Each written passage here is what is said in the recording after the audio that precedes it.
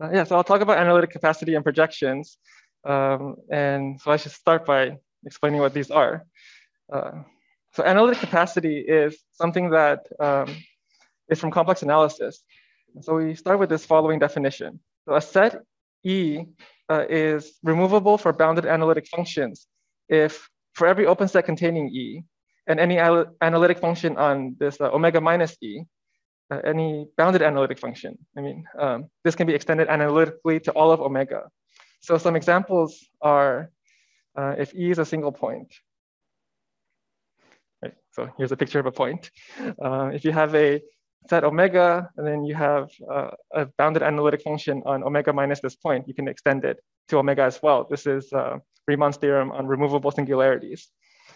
And then an example of something that is not removable is a, a disk.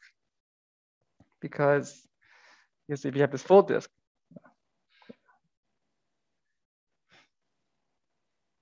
So here, for the full disk, you can consider the function 1 over z. Right? That's a bounded analytic function on the complement of the disk, um, but it can't be extended into the disk.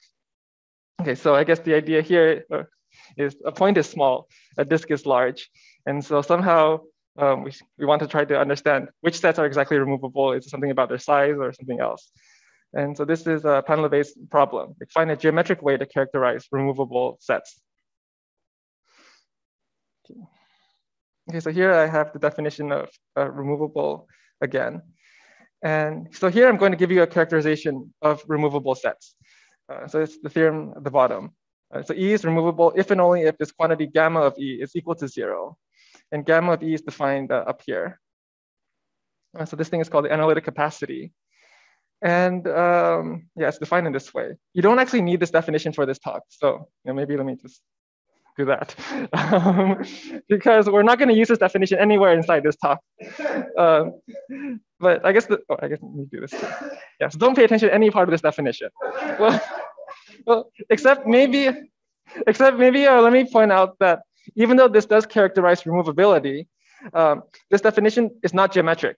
You probably can't tell because you can't see it right now, but okay, so uh, it's a complex analytic definition. It's not geometric. So yeah, so this is not a solution to Painlevé's question. Yeah, and like I said, don't pay attention to this. Okay. Okay, so let's look at some things that are geometric. Um, so here are some um, sets that we know are removable or not removable. So the first two are pretty easy to show. Uh, the first one says that if you have a set of one-dimensional Hausdorff measure zero, that is removable. Okay, so you know, this generalizes the point example that I had earlier. And then the second one says that if the Hausdorff dimension is greater than one, then it's not removable. So like, like the disk, for example. Um, okay, and then a much more non-trivial result is this third one here, which is proved by Calderon, um, which says that if you if E is a subset of a rectifiable curve, then removability is equivalent to having H1 measure zero. Yeah, so this is non-trivial. It uh, follows from Calderon's theorem on the uh, boundedness of the Cauchy transform on Lipschitz graphs for small Lipschitz constant. Um, and so one natural thing you can ask is, like, is this assumption really necessary? Like, do we really need this rectifiability? And it turns out that we do. Uh, okay, so here's um, the definition of removability again, and here's Calderon's theorem again. So, so this next part here says that we do need um, this hypothesis. Because if you take the standard four corners Cantor set, um, then it's a counterexample to the statement with this thing removed. Okay, so the, by four corner Cantor set, I mean, uh, you start with a square, you divide it into 16 smaller squares, and you keep just the four corners. And then you repeat this over and over again. Um, yeah, so this, this set is uh, it's one dimensional. Um, it has positive and finite uh, Hausdorff, uh, one-dimensional Hausdorff measure. But it, it, turns out that it's removable. And so this is proved independently by Garnett and Ivanov. Um, okay, yeah, so, so we can't hope for you know, this kind of statement here to be true without the rectifiability assumption. However, we can make a, we can uh, consider a different statement instead, um, which is this conjecture down here, that removability is, uh, is equivalent to having almost every projection having measure zero. Uh, and like, this is consistent with uh, everything I've said so far. and also with including this Cantor set example, because this is, I guess, the, one of the standard examples of a purely unrectifiable uh, one-dimensional set with finite um, H1 measure. So by Besicovitch's projection theorem, this, uh, this thing down here is true for the four-corner Cantor set. Uh, okay. Yeah, so this is Vitushkin's conjecture. Uh, so let's look at at least some cases where we know this conjecture is true. So the first one is that based on the things that I said um, at the beginning, this conjecture is true when the Hausdorff dimension is not equal to one. And by Calderon's theorem, it's true when E is a rectifiable set. Okay, and then uh, Guy David proved that this is like this is true when um, the set E has finite one-dimensional Hausdorff measure. And then uh, Xavier Tolsa uh, proved that this is true when E has H1 sigma finite Hausdorff measure. And he did this by proving the uh, semi-additivity of analytic capacity. Uh, by the way, yeah, so I mentioned analytic capacity and never, you know, it never showed up again. We'll get back to that. Um, but here, here's an example of where it's useful, uh, is in uh, this one here. Okay, and so based on what I have so far, it seems like, you know, we're almost done. We just need um, to prove it's true for the case when E is one dimensional, but does not have H1 sigma finite measure. But, uh, but actually this was known you know, way back that this was false. Um, so Mattila proved back in uh, 1986 that, that this uh, equivalence is false. And um, he didn't actually prove which direction was false. So what he did was he, so um, it's easy to see that removability is a property that's invariant under conformal maps, but this property of projections is not. So these two things cannot be equivalent. Yeah, so that, that doesn't actually tell you which direction is false. Um, and then later, uh, Jones and Murai showed that uh, the direction going this way is false. Uh, yeah, so we can still, so the other direction is still open. Like, um, so that's the question that is written down here. Um, so I think this is all repeated from, yeah, so here's definition of removability again. And here's the remaining direction of Vitushkin's conjecture, the one that is still open. And uh, to study this conjecture, like we can also consider a quantitative form of this. Um, and so that's this uh, inequality down here. Yeah, so this left-hand side is the analytic capacity right, that we saw earlier. And um, this right-hand side is what's known as the Favard length of E. And this quantitative, this inequality here implies uh, Vitushkin's conjecture up here uh, because like, this is a, uh, if, um, like suppose this inequality here is true, then now suppose E is removable. Then since E is removable, this implies that gamma of E is equal to zero. If this, if this inequality is true. And then therefore this, like this integral here is zero. So it's this, um, you know, these things are zero for almost every theta. And so that's why this is a quantitative version of uh, Vitushkin's conjecture. Okay, so this was all background to state our result. So our result is, so this is still a conjecture. Um, but so what we have is some kind of lower bound um, on the analytic capacity uh, using projections. Um, so yeah, but so here is our theorem. Um, yeah, so this is also very complicated. Maybe I should just cross out the whole thing so you don't look at it. Um, but, but okay, so so there are certain things to focus on. Um, so the left-hand side, so like I said, we want a inequality of this form where the left-hand side is analytic capacity, the right-hand side is something about projections. And so that's the kind of form our inequality does take right here. Right, this here, like projections do appear, um, but in a much more complicated way. So you take a you take a, any measure, uh, mu, and then you you push forward the measure by these projections p theta. Well, I, I, never said that p theta is like projection in direction theta onto you know, some line L theta. And yeah, so you push forward this measure onto like every line, um, and then you take the L2 norm of the density of that measure. And then you have to integrate this over some range of directions. Um, so that's what this um, expression is saying. That, uh, yeah, we do get some kind of lower bound in terms of something involving projections. It's not as simple as the projections of E. Um, see.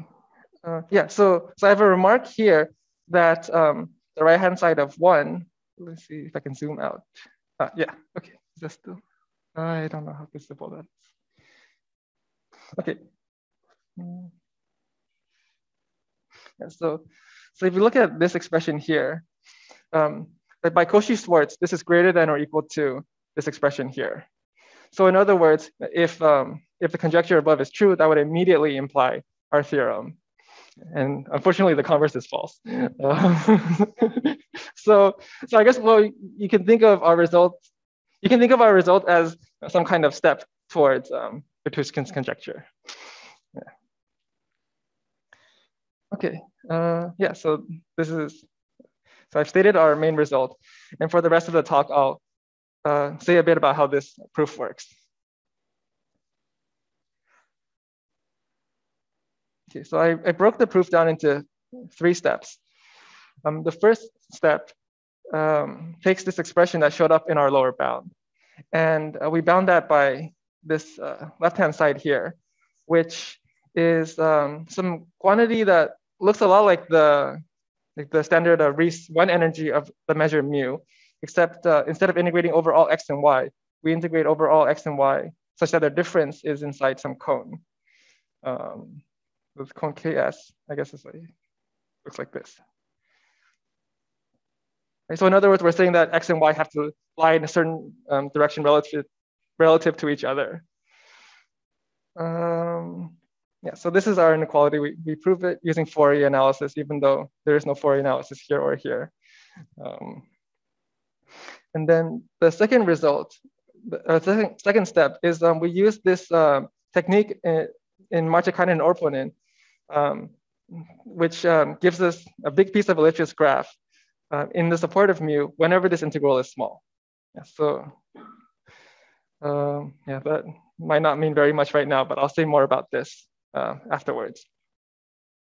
And then the third step is um, is to put all the to connect all these things back to the analytic capacity by uh, by a corona decomposition of the support of mu, um, and then using some like, very deep and non-trivial results of Tolsa um, to yeah, to connect it back to the analytic capacity. Okay, yeah. So now uh, I'm going to say a little bit more about each of these three steps. Okay, so so the first step, um, the, the inequality I wrote above, is is this one down here. So uh, I'm going to explain um, how we prove this, and um, and so here is a a standard result about the Riesz one energy.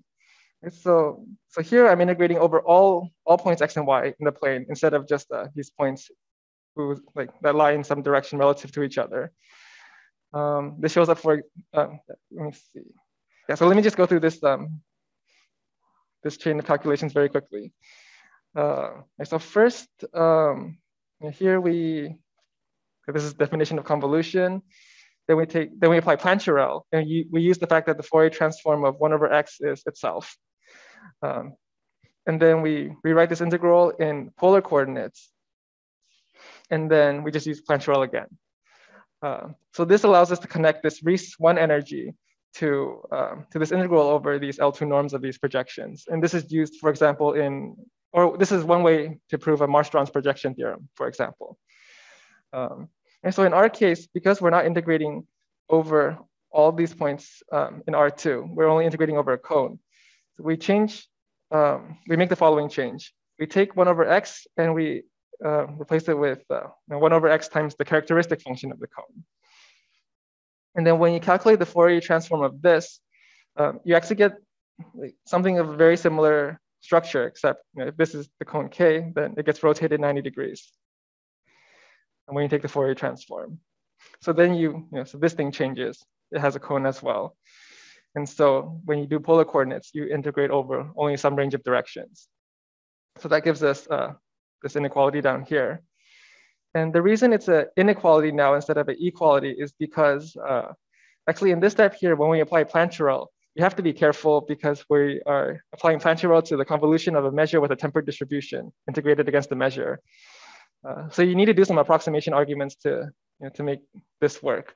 And when we do those approximation arguments in our case, uh, we only get an inequality. And it's, uh, I guess, like due to the discontinuity of uh, the characteristic function of the cone.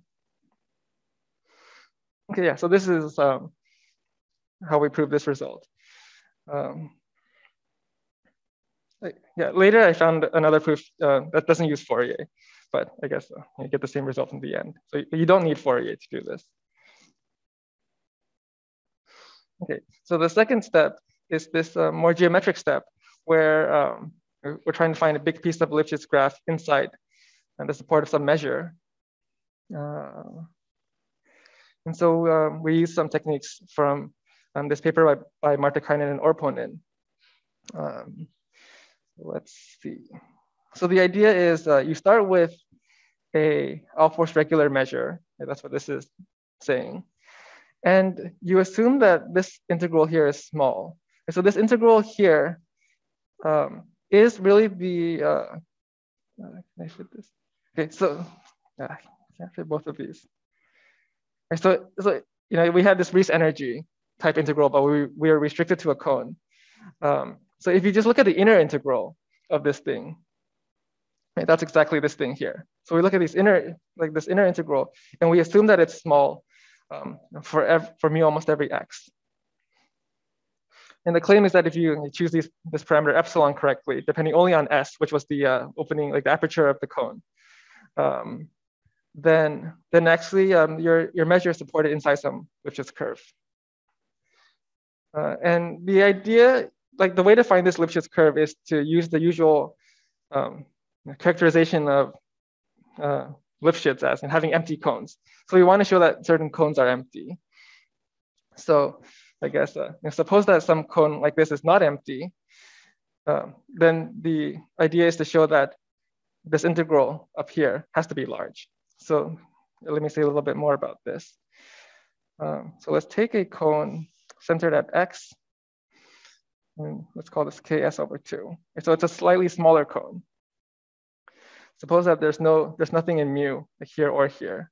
Oh no, suppose there is. Yes, we're, okay, suppose there is something here. Okay, then what happens is when we take the larger cone ks, then I would say this point is z. Then when we draw this ball around z, um, we can fit a relatively large ball um, inside the larger cone. Right? This radius can be at least um, something like a constant times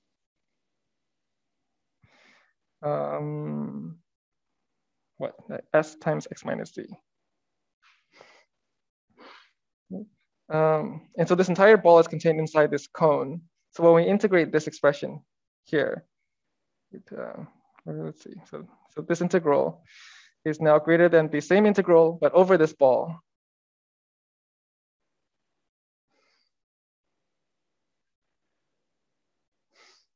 And, instead of writing x minus y, if you're inside this ball, like every point y in here, like x minus y is approximately the same as x minus z. So I'm going to replace that with x minus z.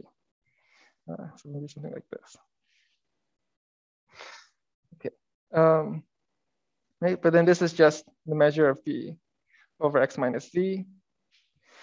And then um, by Ahlfors regularity, because we know the radius of this ball, this is bounded by c1 times x times s, and the x, mi x minus z's cancel.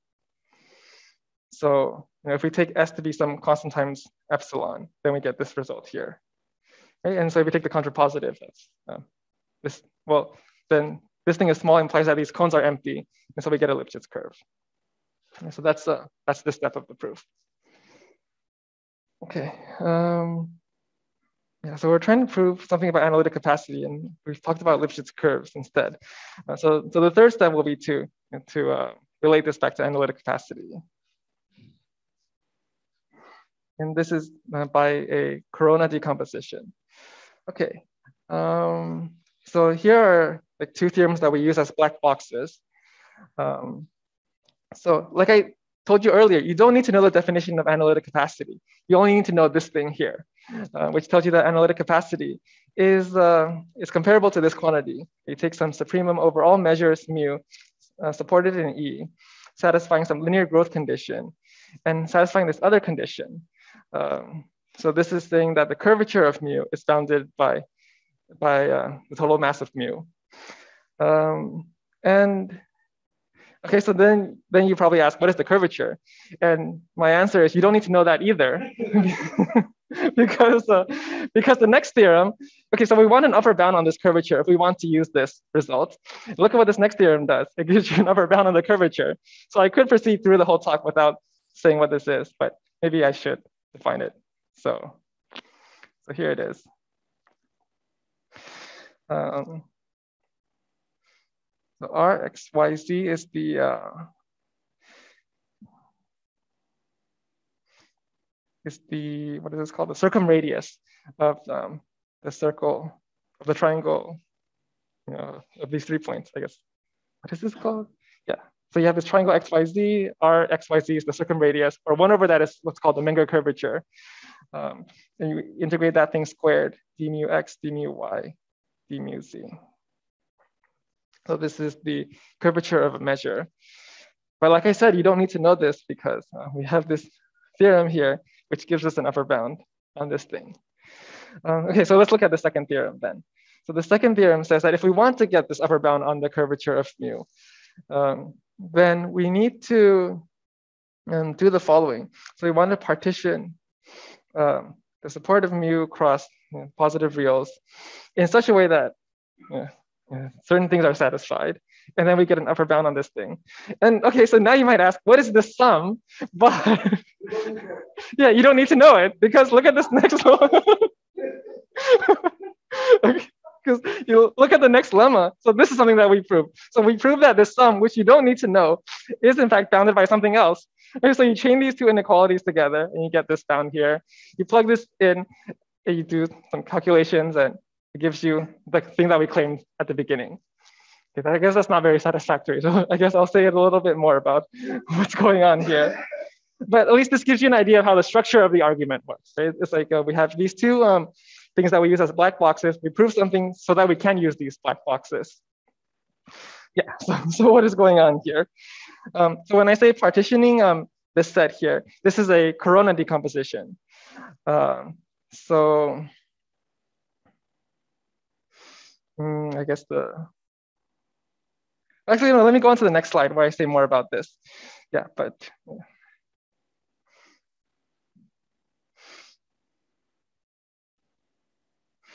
Okay, yeah, so, so this is explaining what's going on in that last part. Um, so we want some corona decomposition, or in other words, we want to partition uh, the set of all. So we think of supportive mu, and positive reals.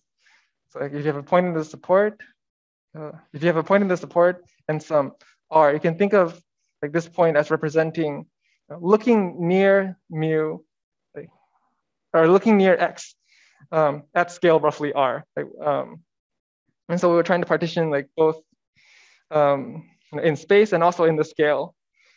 Um, and and uh, the way to the way we do this um, is uh, using this dyadic lattice. And so that gives you a nice way to decompose like this space that I drew here in some kind of dyadic cube like framework. Um, and um, what we want, uh, so if so if you're familiar with uh, like the corona, corona decompositions used by David and Semmes, like there they assume that um, your set or your measure is Ahlfors regular. But we don't assume that. So one of the assumptions, one of the uh, properties that we need you know, in this list of many properties is that each of these um, stopping time regions um, is Ahlfors regular. By, by which I mean that um, if you look at just these points at these scales, right, then um, they're dense, like then um, yeah, then they satisfy some kind of like upper and lower Ahlfors regularity um, bound. Um, uh, or in other words, like the density on each in each of these trees is roughly constant. Um, and then the second property is kind of familiar if uh, if you've studied corona decomposition before, right? We want an approximating Lipschitz graph. Um, yeah, and then there's some more properties which I won't say. Um, right? And then the sum that we that we say is bounded. So this is like some kind of packing condition. Um, so the number of regions that we partition into, it's not too many. Uh, in particular, um, yeah, this this thing is bounded by um, this uh, Riesz energy, like this conical version of the Riesz energy that I uh, mentioned before, um, plus the total mass of mu. Mm. Yeah, okay. Uh, so I, will say a, a, little bit more about this too. So, so in my last slide here. Right, so the idea is that, so if you're familiar with these kinds of uh, corona decomposition, there's some kind of stopping time argument. Um, and in our case, uh, so we should stop when the density gets too big or too low. This is to uh, ensure that it is Ahlfors regular on each tree. And then the third thing, so now here's where we use this conical Riesz energy. Um, so if you look at this, uh, this expression here, it breaks up nicely into different, like different space, like locations and different scales. Um, and so that's like what this kind of quantity is. Like if you have a dyadic cube um, S, right, this is somehow like the piece of that conical Riesz energy associated to, to this cube S. And um, we stop when like this quantity here gets too big because this, this allows us to ensure that inside each of these uh, trees or stopping time regions, the total um, conical Riesz energy is small. And then so by step two, that, uh, that lemma, um, this uh, kind of geometric um, argument here. It's a, so, uh, well, um, yeah, so we want the Riesz energy to be small in each of these stopping time regions, so we can use this um, result here to get Lipschitz graphs. Um, yeah, so condition three ensures the existence of Lipschitz graphs. And if you remember, the reason we want Lipschitz graphs is because it's one of the things that you need for a corona decomposition. Okay, so uh, I think that's all I wanted to say. Uh, yeah, hopefully I gave you some idea of how this proof works and I didn't cross out too many things. And thank you for listening.